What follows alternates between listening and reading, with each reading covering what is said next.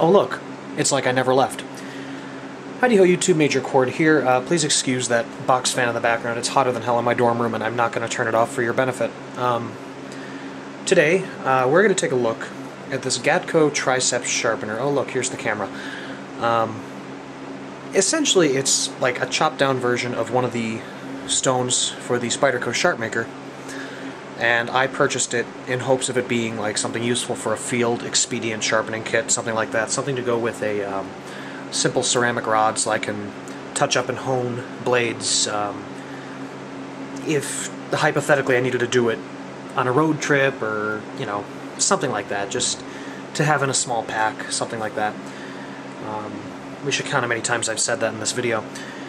But it is designed to sharpen. Oh, look, there's the camera again. Um, assuming it'll focus. Sharpen serrations, as well as fish hooks. Um, so there are several different little areas of it. You can run serrations along the corners, as well as the uh, flat of the blade along the sides. but this was, I think, $6.99 off of Smoky Mountain Knife Works. Um, and Gatco is actually a company that's really local to me. Um, in fact, I'm pretty sure their base of operations, like their distributing center, is about a mile from my house. So that was a shocker to me. But, I mean, there's not really a ton to say about this. This is, I think, a coarse grit ceramic rod. So I'm going to need to finish off the blade with... I don't know where my camera is, it's weird. Um, I'm going to need to finish off the blade with this ceramic rod here.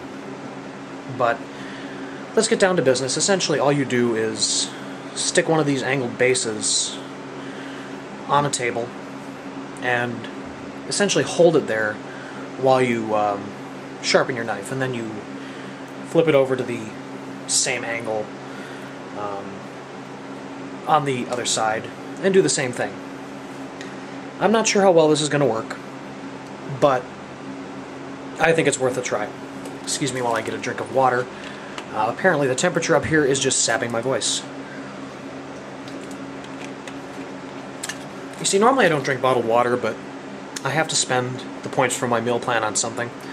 So I've been getting bottled water out the yin-yang. Um, but yeah.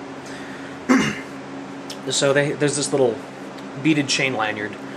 Uh, essentially, you wrap it around your fingers, and you plop one of the sides. I'm going to use the biggest flat here. Um, if I can get that at a decent angle, the biggest flat. And I'm just going to stick it on the table. And we're going to take the Swiss Army knife, uh, Victorinox Classic, and we're going to sharpen it. It's the same motion as a Sharpmaker or the um, Lansky turn box. You just take the blade, and uh, this blade is painfully dull, by the way. It's not cutting anything right now, so take the blade and run it along the flat side of the sharpener.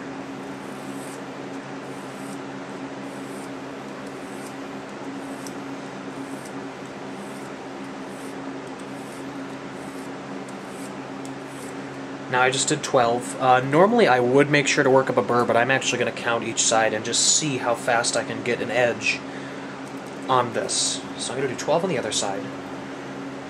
And now I actually don't like this method because I have to use my left hand and I just switch things up. Um, and I'm obviously a very right hand dominant guy, so this is awkward for me.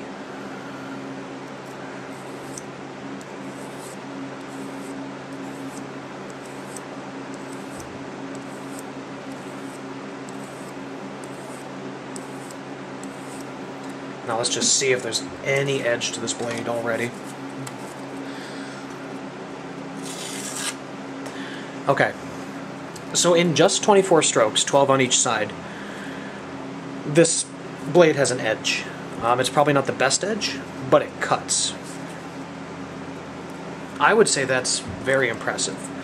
Um, it took a dull knife and brought it back to what I'd say is functional. And now I'm going to um, give it just a couple more passes on each side, making sure to use the same angle. Just to do it slightly lighter. You know what?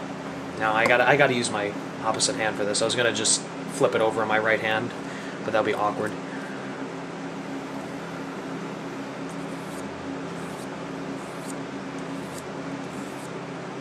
Okay. Check and see the edge. Yeah, it's not a perfect edge, but this thing cuts now. So I'm going to move it on to the ceramic stone, which I'm just going to have to hold and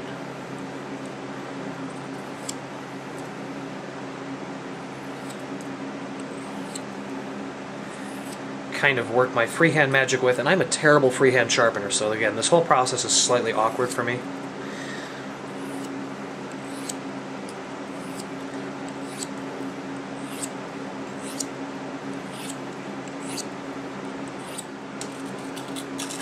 And I just managed to dull the blade. That's fantastic. Nope, I didn't. Okay. Um. Yeah. So. I mean, it's a working edge. There's my camera. It's not the smoothest. I could probably strop it up and make it better. But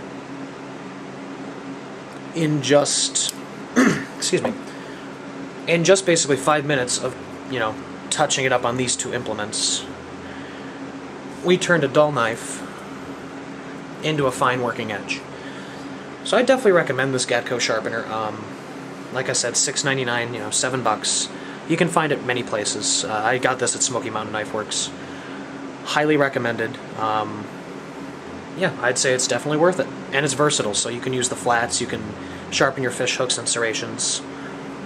I see really no problems with this other than the fact that um, this base is starting to loosen up, so I'm going to have to reglue it. But, you know, for a, a cheap little sharpener, it works very well. Thank you for watching.